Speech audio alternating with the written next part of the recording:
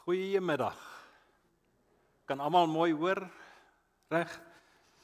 Ehm um, baie welkom vanmiddag.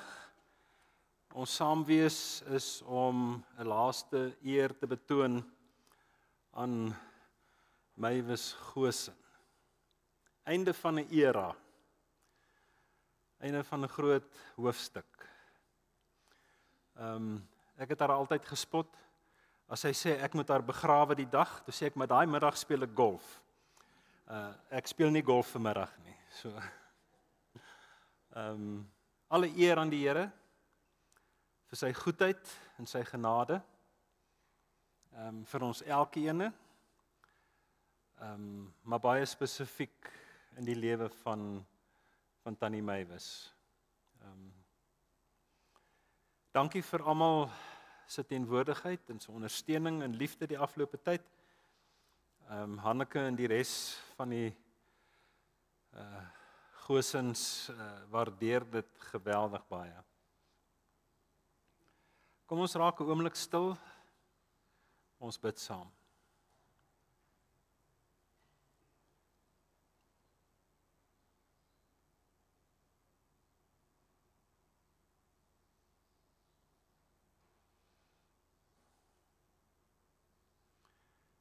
Ons hemelse Vader, ons buig voor U in aanbidding. Ons bring aan U die lof en die eer vir U goedheid en U genade. Ons saam wees is in die naam van die Vader en die Seun en die Heilige Gees. Amen. Vriende, familie en ek groet julle dan ook in die naam van die Vader en die Seun en die Heilige Gees. Ons gaan 'n lied saam sing op die pamflet, is dit aangedui. Laat Heer u vrede deur my vloei. Uh die lied het eintlik 2 en 'n half versies. Twee vol verse en dan 'n derde een net 'n halwe een. Kom ons staan en sing dit wat daar op die pamflet is lekker saam.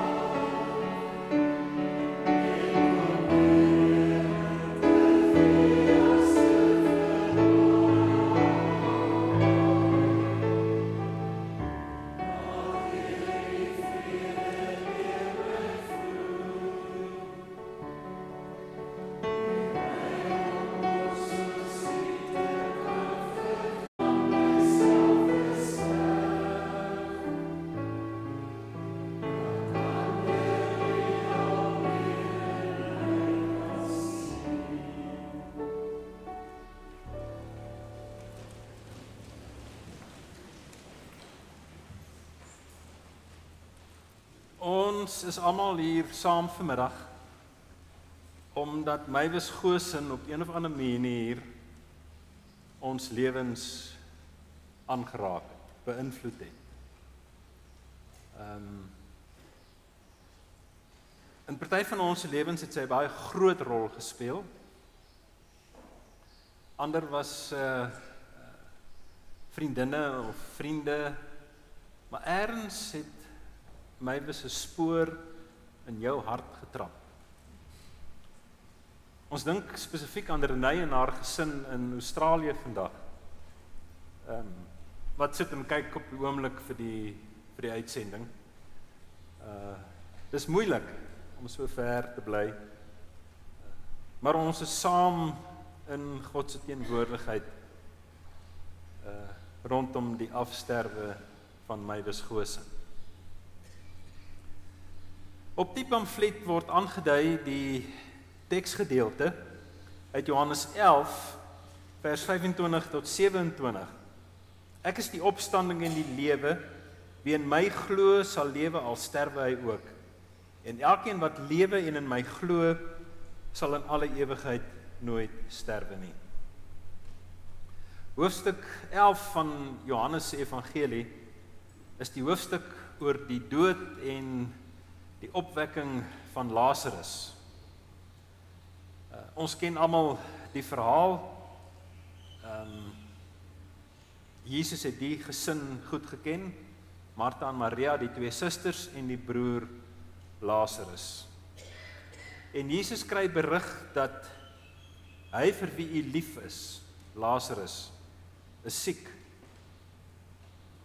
Maar Jesus sê vir sy disippels, ons gaan nie nou soontoe nie want hierdie siekte van Lazarus sal nie op die dood uitloop nie, maar uh hierdie siekte van Lazarus is om die wonderbaarlike mag van God te openbaar. En ons ken die storie. Ehm um, Jesus het nog 'n rukkie getalm, 'n dag of 2 en toe is hy eers na Betanië toe. En een van die susters gaan hom tegemoet en sê vir hom dis te laat. Uh Lazarus is dood. Hy's reeds begrawe. Um, dit moes vir hierdie gesin 'n geweldige krisis gewees het. Want erns het hulle iets verstaan van wie Jesus is en wat Jesus vir hulle kon doen in terme van Lazarus wat siek geword het, maar toe sterwe hy en hy is toe begrawe. En dit is Martha se woorde aan Jesus toe sê om buitekant Betanië tegemoet gaan. Here, as u hier was, sou my broer nie gesterf het nie. 'n Verwyte. Ehm um, Dis nou een ding wat ons nie kan doen met my wisgose nie. Ons kan nie ons kan niks en niemand verwyd rondom tannie Mywes nie. Want dit wat haar hand vind om te doen, het sy gedoen in oormaat. En elkeen van ons kan een of ander iets vertel oor my wisse goedheid aan aan jou persoonlik. Ons gaan mekaar lank besig hou daarmee. Ehm um, maar Jesus sê toe vir Martha, jou broer sal uit die dood uit opstaan. En Martha verstaan verkeerd. Sy sê ja, Here, ek weet dat op die laaste dag uh hy sal opstaan uit die dode uit. Met die wederkoms sal Lazarus uh opstaan uit die dood. En toe sê Jesus vir haar hierdie woorde: Ek is die opstanding en die lewe. Wie in my glo sal lewe al sterwe hy ook. En elkeen wat in my wat lewe en in my glo sal in alle ewigheid nooit sterwe nie. En as jy nou terugdink aan tannie Meywis dan net sy dit tydig en ontydig soos Petrus vir ons sê in sy brief in die Nuwe Testament het sy hierdie boodskap tydig en ontydig uh, vertel. Ehm um, vroegoggend as die dag as jy verjaar het, kry jy jou boodskap, jou telefoonoproep. En dan sê sy ek het vir hierdie jaar het ek hierdie versie gekies vir almal wat verjaar. En dan lees sy vir jou die versie. Uh dit was deel van haar manier om hierdie ewige lewe te vestig, te verkondig. Maar Jesus vra vir Martha: "Glo jy dit dat ek die opstanding en die lewe is en dat almal wat in my glo sal lewe al sterwe hy ook? Glo jy dit?" "Ja, Here, ek glo vas dat U die Christus is, die seun van God." die een wat na hierdie wêreld toe moes kom. Dis 'n geloofsbelijdenis wat Martha daar uitspreek. Ek glo dat Jesus die Christus is, die seun van God. Die een wat na die wêreld toe gestuur is sodat almal wat aan hom glo die ewige lewe sal hê.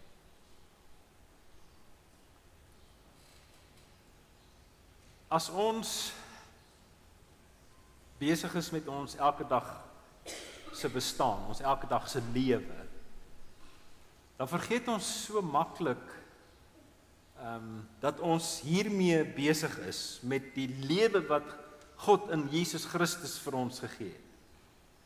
Ons kyk so maklik vas in die moeilikheid en die opdraand. En Tannie Meywes kon so maklik net in die moeilikheid vasgekyk. Hoe lank is jou pa oorlede, Hanneke? Ek kan nie eens onthou nie.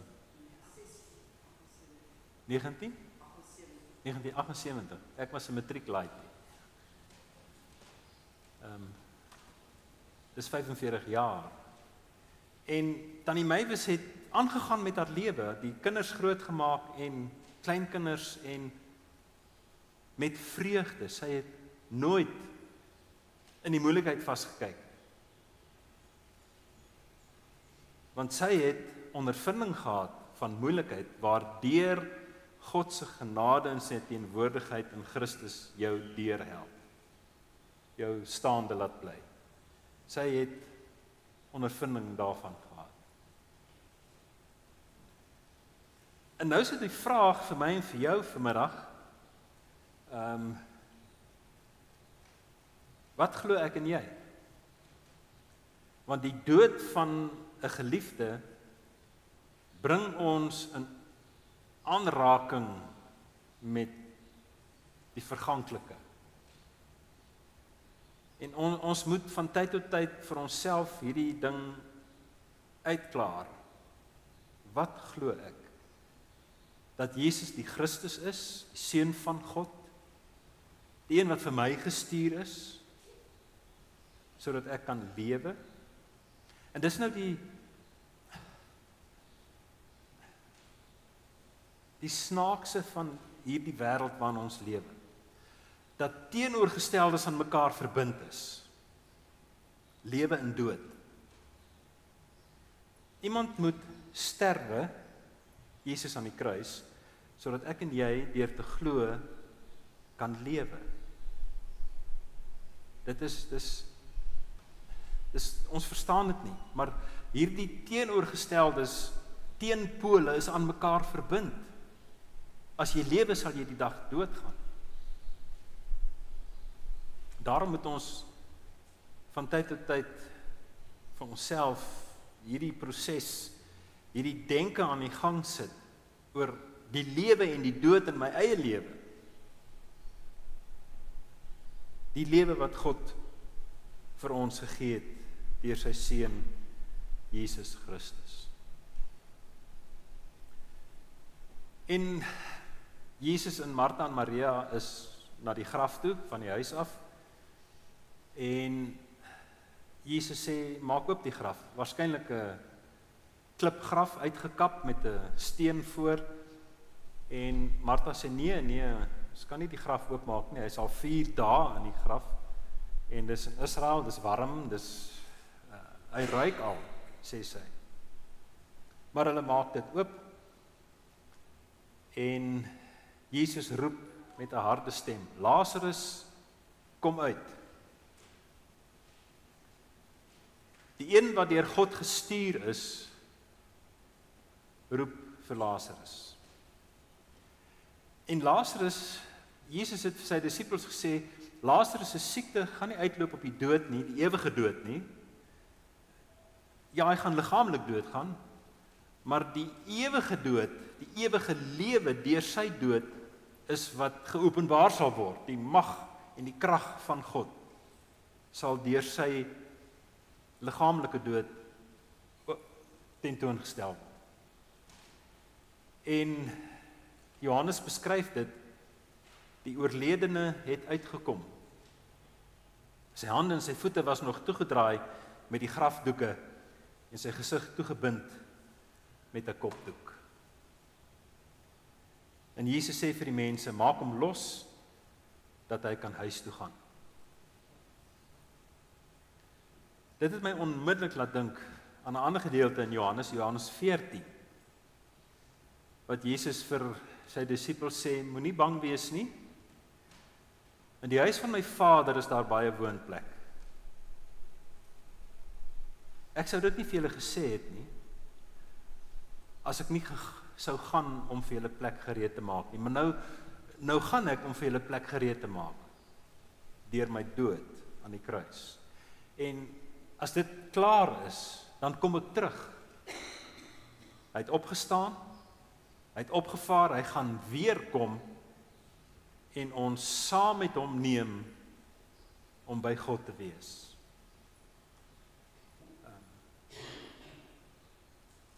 Daar is in sy huis baie woonplek. En ons almal weet verseker dat my was ingetrek het in haar kamer daarbo. Dis wat ons lees in die Bybel. Is dat ons saam met God sal wees omdat ons glo dat Jesus Christus na hierdie wêreld toe gestuur is vir my. vir my ons. vir elkeen van ons. En dat Jesus daar staan en ons roep kom kom hier kom huis toe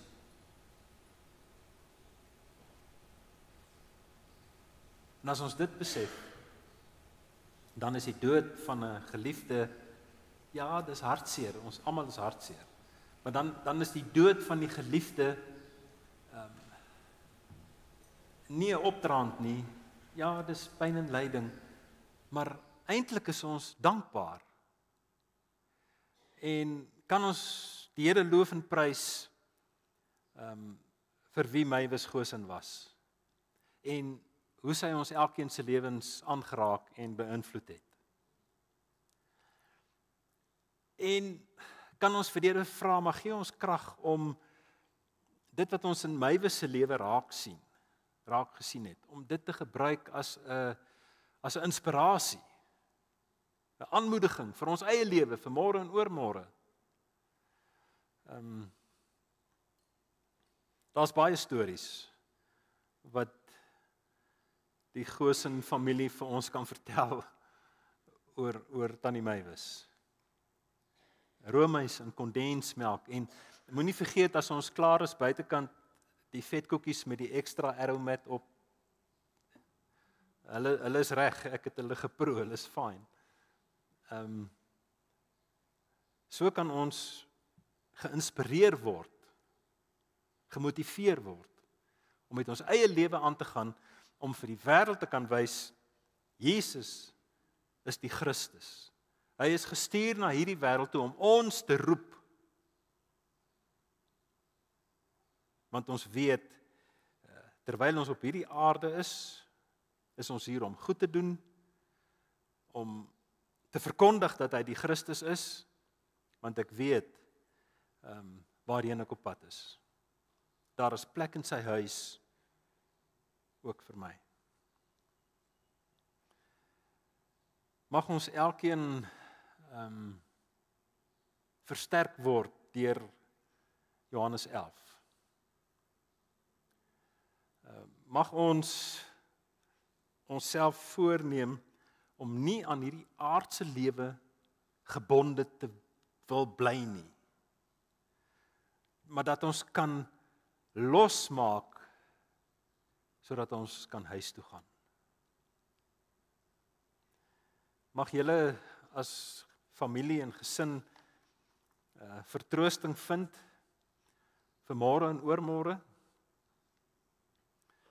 Ehm um, net sodra jy dink nou is jy reg, jy het tannie Meywes se afsterwe verwerk, dan maak jy 'n kas oop, jy sien 'n foto, iemand vertel jou iets en al die herinneringe is terug. Al die hartseer is terug. Maar dis deel van die proses om om finaal afskeid te neem. Ook vir die res van die familie en die vriende en die kennisse uh die Here seën ons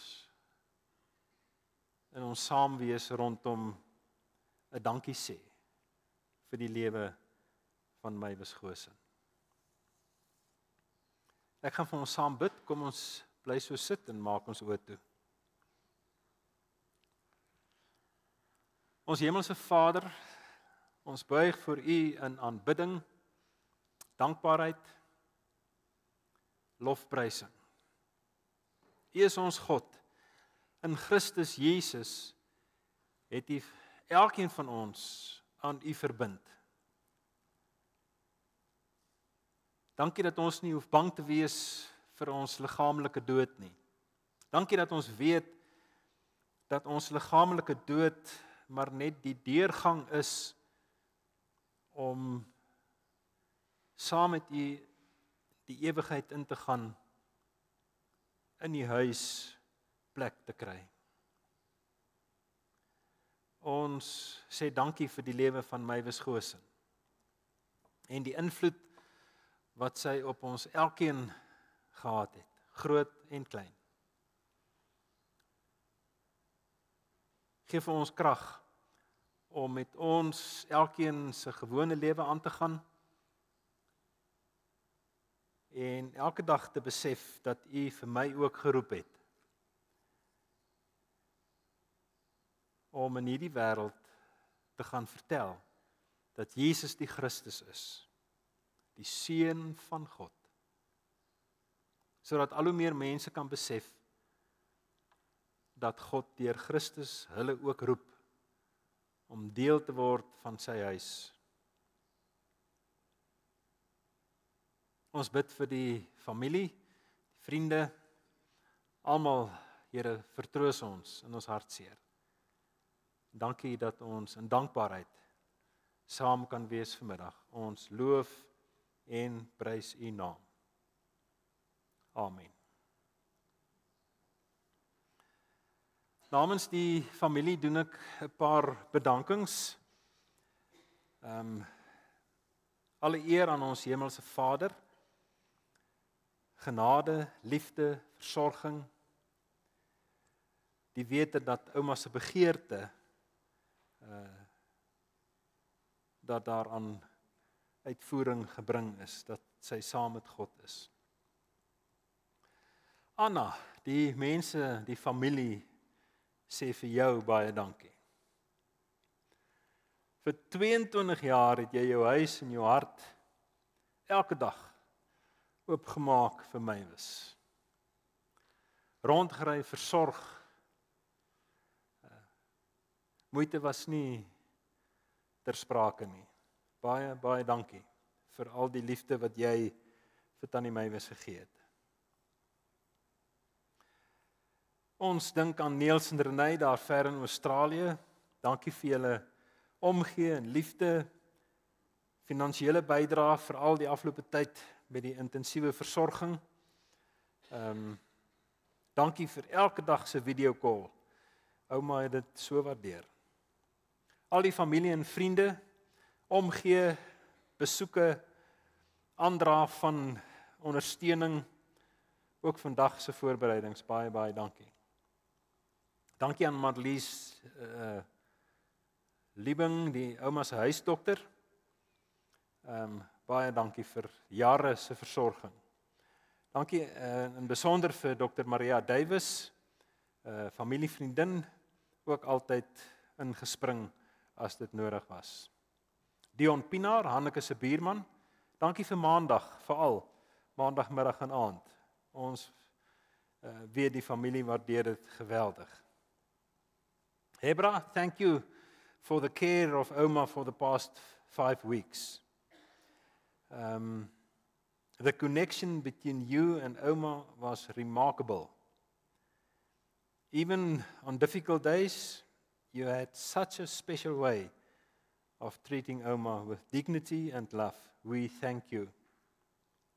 Thank you for Catherine and Helen. Um, you've been part of caring for Oma over so many years. Thank you. Sophie. Dankie vir al die jare wat jy ook met ouma gehelp het. En dat ouma jou kon help met die beskuit. Uh julle het saam baie kilogramme gedoen, baie. Baie dankie vir die liefde en die geduld. Dankie vir 6 mil spruit. Ehm um, ek was 34 jaar betrokke by 6 mil spruit en my was min of meer dieselfde. Ons het so saam saam hier begin. Uh sy was baie lief vir 6 mil spruit. Dankie vir Jakkie. Die kerkkantoor altyd bereid om te help as tannie Mywes iets gevra het. Alta, dankie vir jou bydrae en versorging ook vir tannie Mywes. Uh sy het keer op keer uh vertel van die geniet genot wat sy gehad het deur jou musiek. Baie dankie ook vir vandag. Sonja Smit, dankie vir die hele hantering die afgelope week, al die reëlings, baie baie dankie. Ons wil ons hemelse Vader loof en prys met die woorde van Psalm 31 vers 20. Hoe groot is u goedheid? Dit is altyd daar vir die wat u dien. Alle eer aan ons hemelse Vader. Marley, jy doen 'n huldeblyk asseblief. Jy kan vorentoe kom.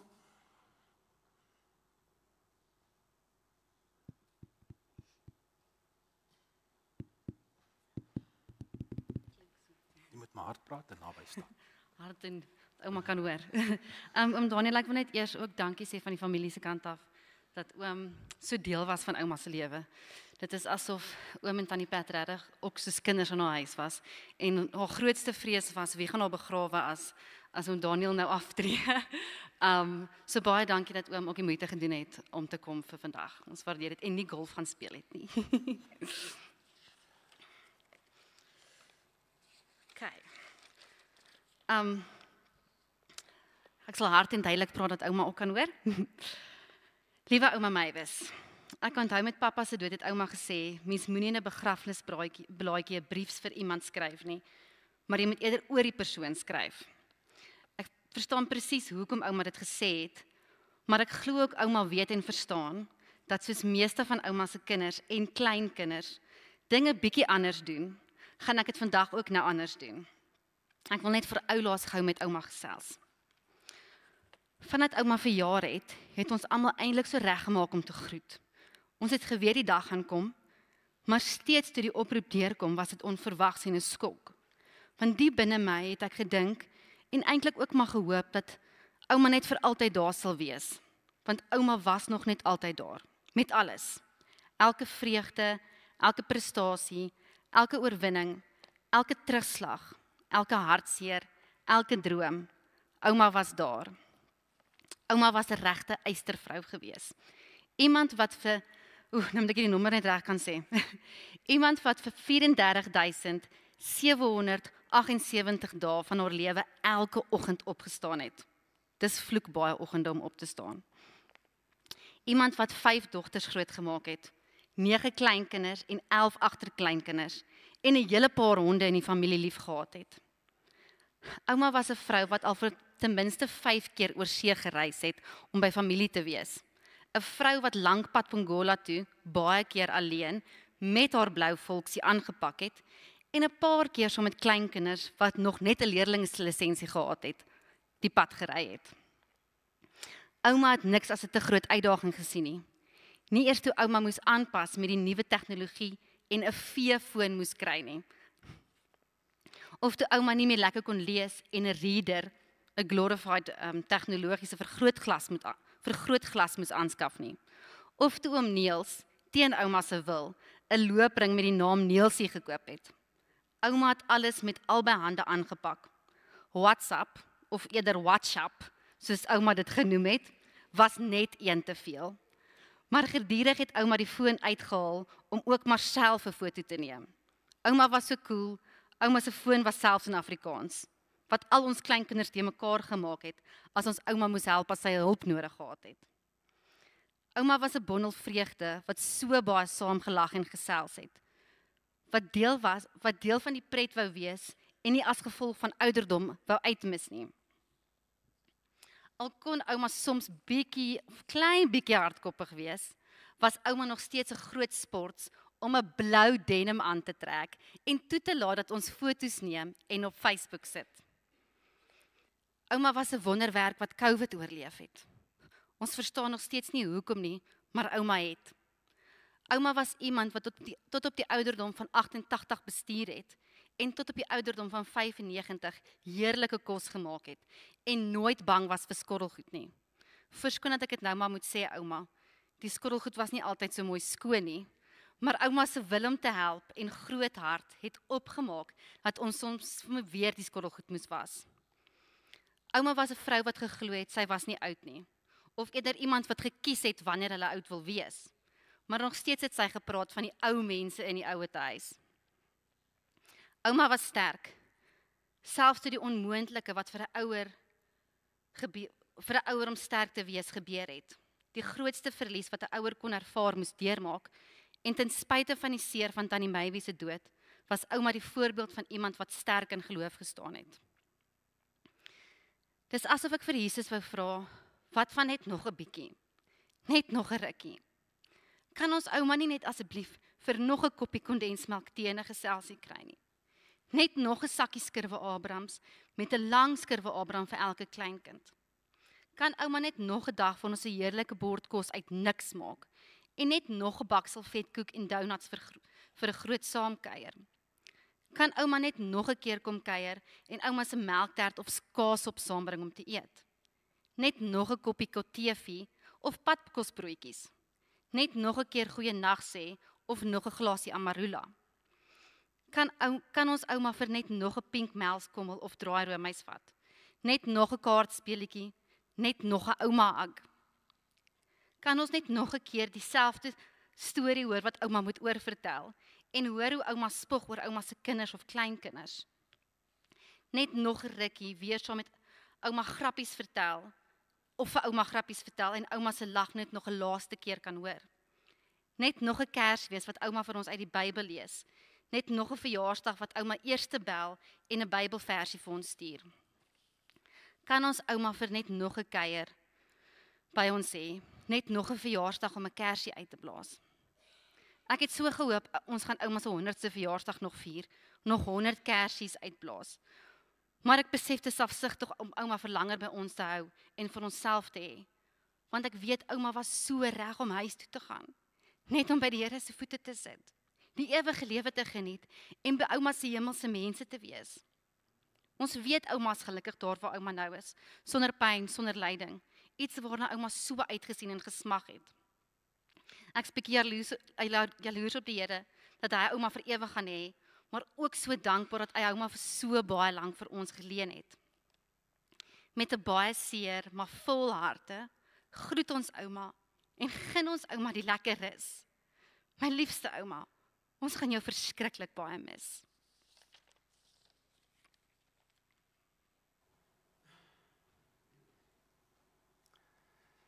Baie dankie Marley. Jy het my wys 'n uh, slag met woorde in jou genetika. Baie dankie. Vriende, ons gaan uh, die volgende proses volg. Ons gaan nou kyk na 'n uh, fotobeeld. Dan gaan ons die oorwinningslied saam sing. Dan gaan ons uitbeweeg en moet nou nie ja, vashak by die deur nie, beweeg uit buitekant toe na die voertuig toe. Ons gaan daar 'n laaste seremonie doen en afsluit en dan gaan ons almal saam tee drink en my wisse vetkoekies eet in die in die saal. So kom ons kyk na die fotobeeld en dan sing ons daarna.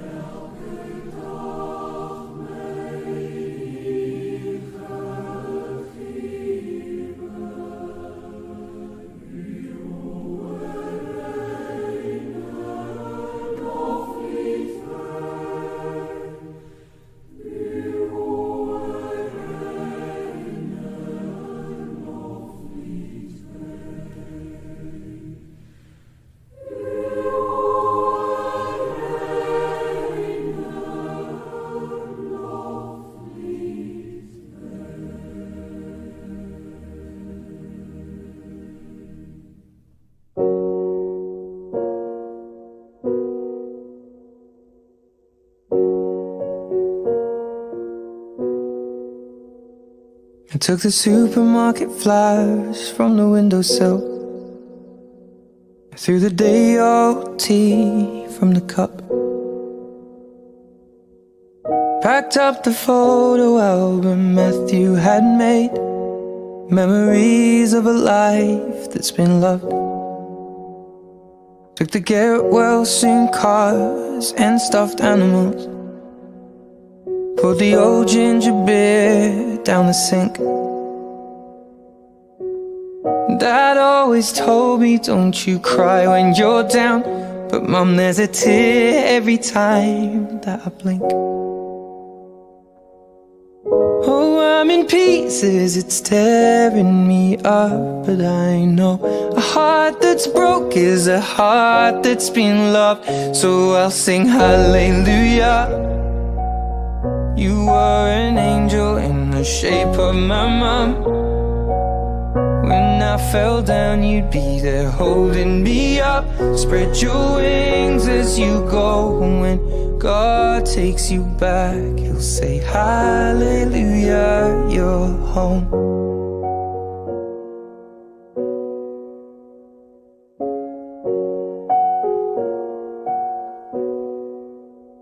I fluffed the pillows, made the bed, stacked the chairs up. Folded your nightgowns neatly in a case. John said he'd drive, then put his hand on my cheek and wiped a tear from the side of my face. And I hope that I see the world as you did, cause I know a life with love is a life that's been lived. So I'll sing hallelujah. You were an angel in the shape of my mom. When I fell down, you'd be there holding me up. Spread your wings as you go. And when God takes you back, you'll say, Hallelujah,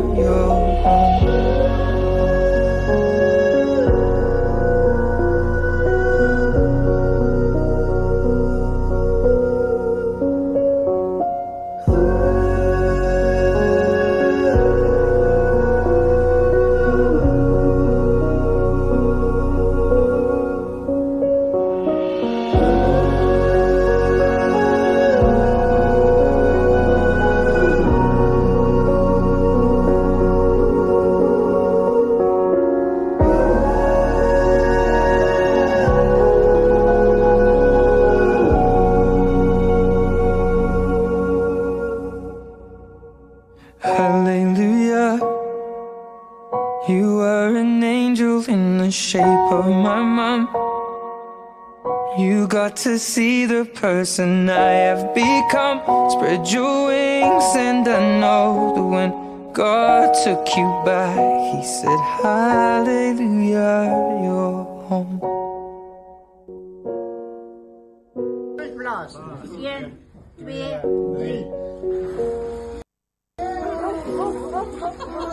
1 2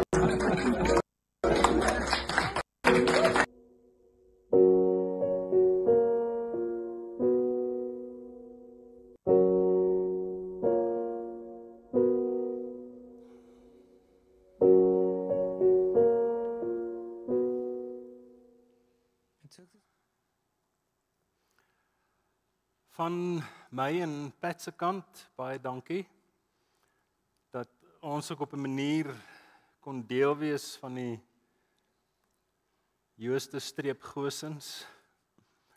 Groot waardering ook van ons kant af vir julle. Ons gaan die oorwinningslied saam sing. Kom ons staan en sing hier drie verse daar en daarna beweeg ons uit buitekant toe asseblief.